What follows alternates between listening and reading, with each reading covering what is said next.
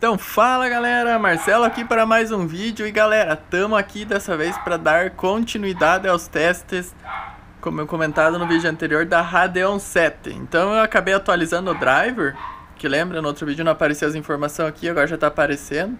Ela está um pouquinho quente porque eu estava testando, ela está em 40 graus, mas antes ela estava em 30 quando estava em idle. E aqui eu deixei tudo em estoque, não mexi em nada. Ela tá como veio de fábrica, é, rotação dos cooler, tudo, tudo certinho como veio de fábrica. Aí, vamos testar em alguns jogos, eu vou começar pelo Red Dead Redemption. Olha, a plaquinha tá aqui, ó, bonitona.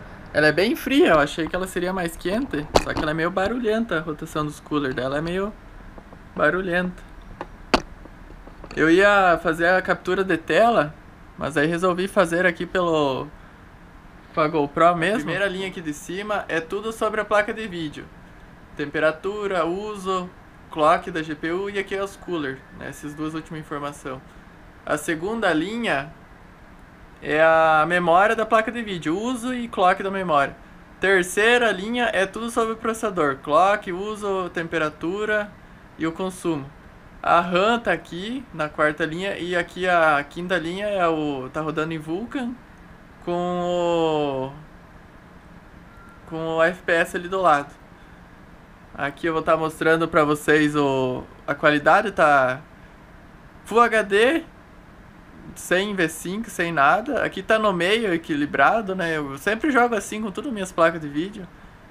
É, tá bastante coisa no Ultra, médio, X16 ali, tem bastante coisa no Ultra, praticamente tudo ali.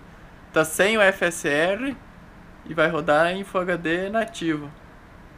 Vou colocar aqui para rodar. Bom, então aí vai começar a rodar o teste, eu consegui aumentar um pouquinho o, o tamanho do, das letras e números. E no final a gente vê o resultado lá.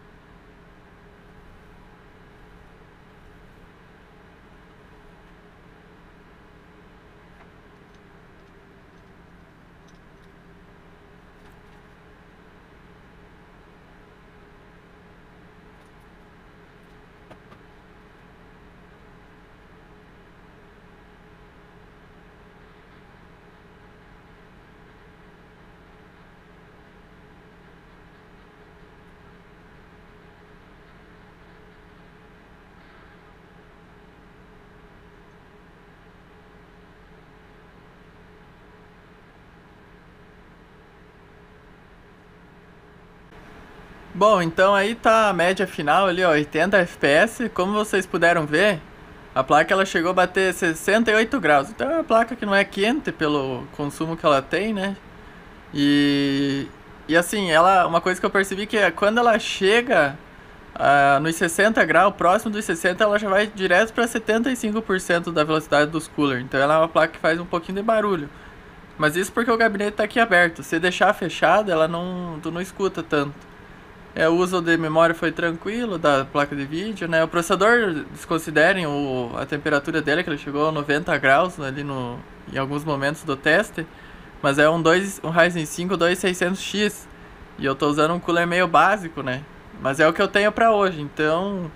Eu, acho, eu acredito que não vai, vai, não vai afetar o teste diretamente, né? Mas o bom seria ter uma refrigeração melhor. Vou providenciar isso. Então vamos para o próximo teste. Bom, então aqui estamos no Sons of the Forest, certo?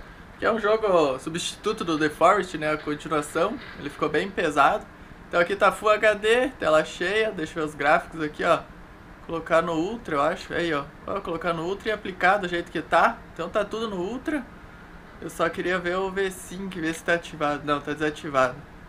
É que eu acho que talvez aqui no menu seja 30. Vamos jogar sozinho. Vou entrar no mapa que eu tenho aqui. Bom, então aqui dentro do jogo, no The Forest, né, tá aquelas configuração no Ultra, como eu mostrei. Que eu tinha começado a fazer uma, uma cabaninha aí, mas né? É, tá usando mais memória que o que o Red Dead, memória de vídeo, no caso da placa de vídeo. A placa não tá usando 100%, tá entre 80 e 90. Até agora eu não vi passar de 90. Mas o jogo tá muito bonito. Muito bonito. Tá rodando próximo dos 60. Porque esse jogo é realmente muito pesado para rodar no Ultra, né? E temperatura dela ali bem tranquila. 63, 60 e poucos graus. Não achei preocupante a temperatura dela. Bem tranquilo. Eu pensava que ia rodar com mais FPS, talvez, nessa, nesse jogo aqui, porque né, uma placa poderosa dessa devia rodar melhor. Ela tá dando uma engasgadinha. Não tá 100% como tava no, no Red Dead lá. É, mas dá pra jogar. Dá pra jogar tranquilo. Bem tranquilo. É, não tem muito o que testar nesse jogo, né? É só andar. No, no meio do mato é o lugar mais pesado que tem já. O problema é se fosse na praia ele, ele fica com FPS muito alto, então o bom é sempre andar aqui no, no, no meio do mato aqui, que aqui tem bastante sombra e vegetação, pesa bastante. Mas dá pra rodar tranquilo. Vamos, vamos até pro próximo jogo então. Aí dá de dizer que tem uma média de 60 FPS pra não. né? Por aí. É, tem uma base de 60 FPS bem tranquilo. Então beleza, vamos pro próximo jogo, vamos testar lá. Bom, então aqui dentro do CSGO, né? Eu vou tirar um pouquinho desse volume aqui. Estamos aqui dentro do CSGO, vamos olhar a qualidade gráfica, vídeo. Aqui ó, tá Full HD. E tá tudo no, no máximo que tem aqui, ele puxa tudo automático no máximo. E ó, tá tudo no máximo. FXA, vou ligar. Esse aqui, trilinear, vou colocar X16. E é isso, o restante ele já puxa automático tudo no máximo, então eu vou aplicar alterações. Bom galera, então aí consegui colocar o MS Afterburner alterando as opções de inicialização do jogo, porque senão fica muito ruim de ver o FPS pequenininho que tem ali do jogo no canto direito. Então assim fica melhor para vocês observarem o, a taxa de FPS, né? Ali ó, tá, ele varia de próximo dos 200 FPS. O problema é que eu não enxergo direito o meio da tela porque a câmera tá bem na minha frente. Mas tá aí, vamos, vamos dar uma jogada. Esse mapa aqui também não é um bicho de pesado. Opa! Esse aqui ia ter acertado. Caralho, bicho piruleta. Deixa eu ver se eu consigo subir aqui. Eu vou morrer agora. Mas que dúvida. Eu não enxergo os caras. Ué? O que, que esse maluco tá fazendo? Não tô entendendo o que, que eles estão querendo fazer. Mas enfim, vamos jogar. É, o jogo tá tudo no Ultra.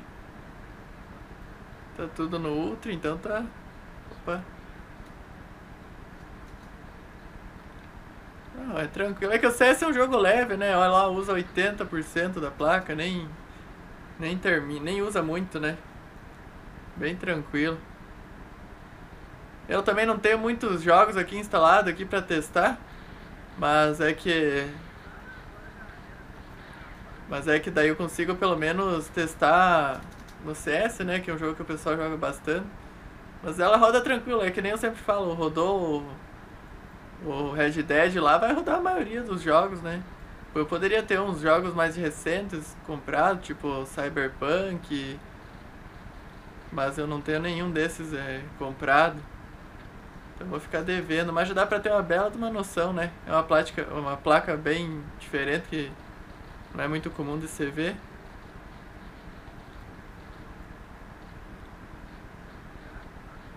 Mas enfim.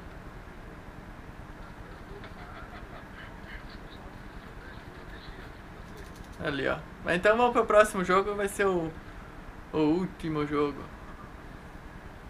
Bom, então tô aqui no Rust.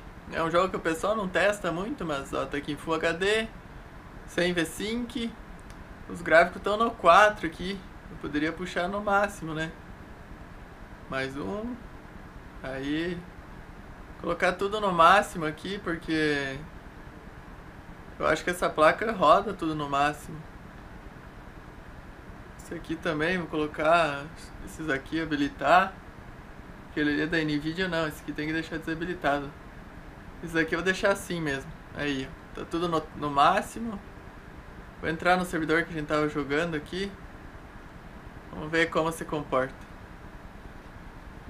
Bom, galera, estamos aqui dentro do jogo, então. Vou sair aqui pra fora da nossa base aqui. Vamos dar uma voltinha ali por fora pra ver como que tá. Meio ruim de jogar com todos esses números na tela, mas esse é um jogo que usa tudo que tem. Não digo que ele dá mais FPS, mas ele usa tudo que tem da placa de vídeo, do processador. Ali, ó, tá usando um monte. A placa de vídeo tá usando quase 13 GB. Essa placa, quem sabe, o jogo não consiga usar os 16 GB porque ela é HBM, ela consegue fazer a transferência, o processamento mais rápido. Mas, ó, a memória RAM tá usando praticamente os 16 GB. E a placa de vídeo ela não usa a GPU em 100%. Tá 80 FPS, mas é um FPS bom pra esse jogo. Tá num lugar meio aberto aqui, vamos dar uma volta no... Aqui o mapa aqui. Dar uma volta aqui em redor da casa aqui e tal. Não precisa muito, né? Porque o jogo é isso aí, não tem muito o que fazer. Agora se tivesse alguma rocket e tal pra, pra poder dar explosão. Mas tá chovendo também. Não, bem tranquilo, roda o jogo 100% no Ultra, bem de boa. Aqui tem um monte de coisa. E tá em Full HD, sem... É, o V5 tá destravado ali, já deu pra ver. Então tá show de bola. Placa de vídeo fria, eu achei ela muito fria por, por, pelo tamanho da placa. Tudo bem que ela é triple fan e, e ela, olha lá, chegou perto de 57 graus ali, ela já começou a aumentar os fãs pra 75%. Ela deve ser programada assim de fábrica já pra funcionar dessa maneira. Mas enfim, aqui eu vou Vou terminar o teste aqui. Mostrar pra vocês a placa ali e finalizar o vídeo. Bom, então esse foi o vídeo aí, galera. Espero que vocês tenham gostado aí. Eu poderia ter trazido mais vídeos, mas eu não tenho muitos jogos né, recentes aí pra testar. Já dá pra ter uma noçãozinha de como funciona. Né? E aqui tá a placa, aqui rodando bonitinha. 57 graus, bem tranquilo, roda tudo o jogo atual. Ela tem o bom que ela tem bastante memória de vídeo, né? Só que ela não é uma placa muito forte, sabe? Ela é só tem memória de, de monte, né? Mas enfim, é, espero que tenham gostado do, do, do, vídeo aí dos testes, né? Que, que foi possível fazer. Eu não tenho muito jogo, quem sabe vocês queiram comentar algum, algum jogo aí que queiram ver os testes, mas eu já trouxe os jogos mais pesados que eu tenho aqui, né? Eu acabei nem trazendo o GTA V, porque o GTA V é mais leve que o Red Dead. Mas enfim, espero que tenham gostado aí do vídeo. Deixe seu like aí, se inscrevam no canal e valeu, falou e fui!